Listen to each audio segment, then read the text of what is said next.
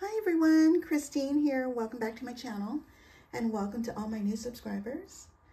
I have a design team project for my creative time and let me share with you the products that I've used first of all. I used two of my favorite um, paper pads. It's called Fun Valentines and the coordinating scripts, hearts, and solids. Um, I probably bought like four each of these so far. Love those.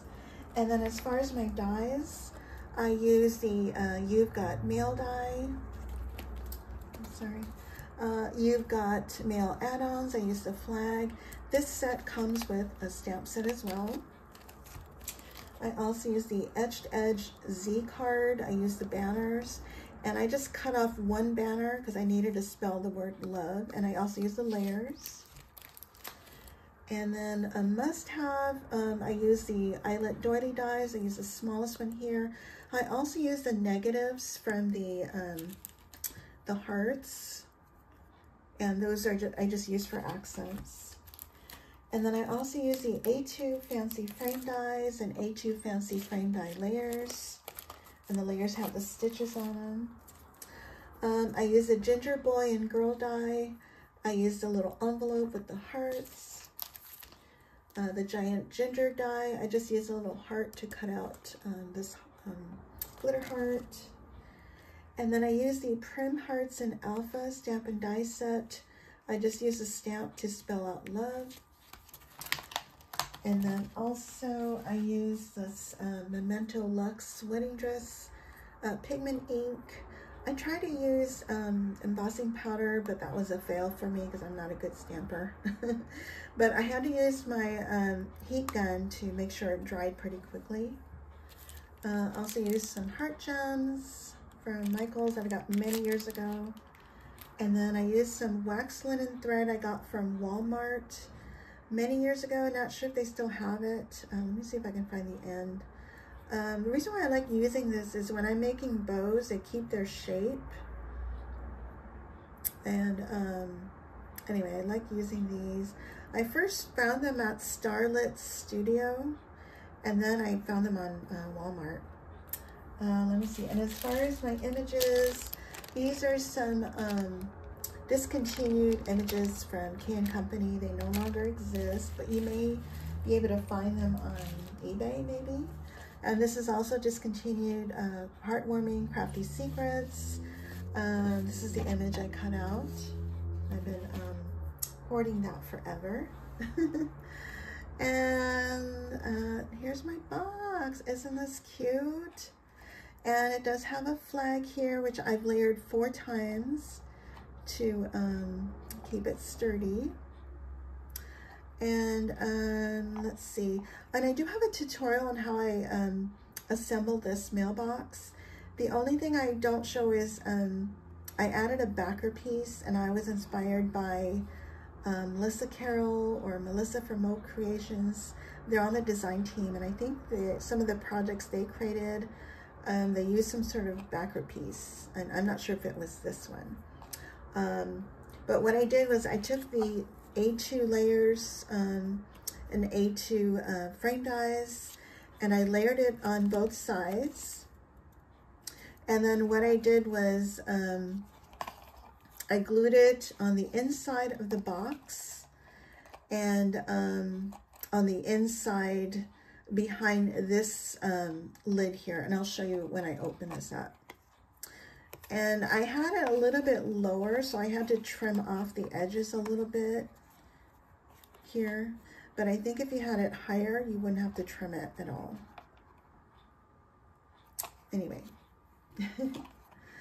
so um, also at the top, I have uh, my banner and I pop that up on red foam.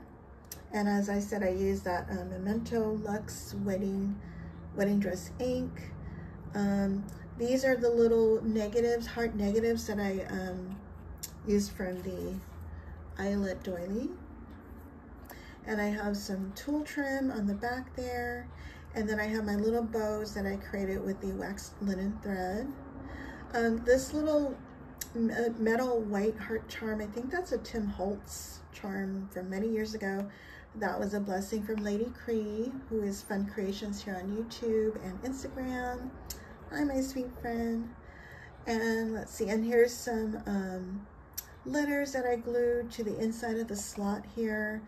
Um, and I do show you how to do that on my uh, tutorial.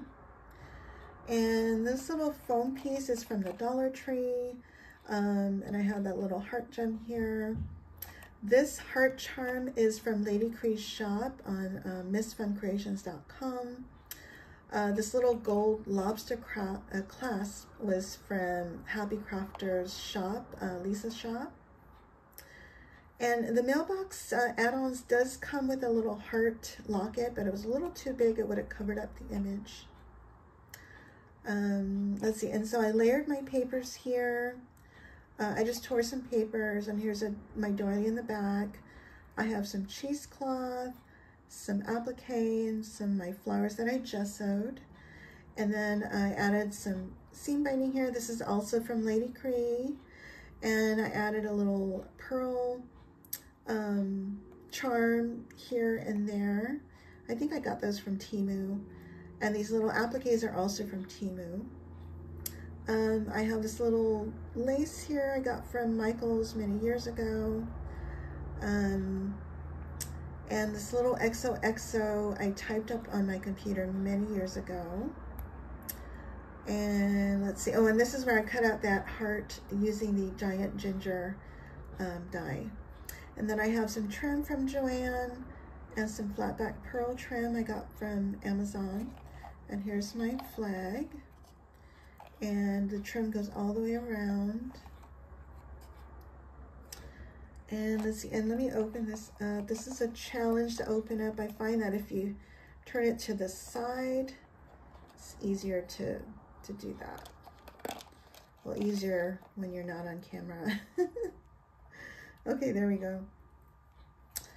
And, um, and I've also found that um, it's best to layer your, um, this lock mechanism like twice to give it, make it more sturdy, give it extra strength. And um, here you can see um, this little backer piece I have. Let me show you. I cut it off at a, a little bit here to kind of hide it and then it's tucked behind the lid here and on the inside of the box, if that makes any sense. But isn't that cute? So I plan on making a pink one, of course. Yeah, these are so hard to give away because I love them. I love it. Um, anyways, I'm going to leave the link down below to um, all the products that I've used, as well as to all of my design team sisters and to my creative time.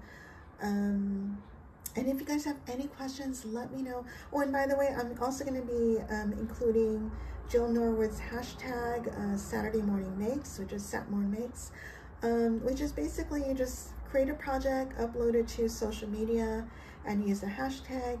And I'm going to leave Jill Norwood's um, link down below so you can check it out. And I think that's it. If you guys have any questions, please let me know. And I thank you all so much for watching. Bye for now.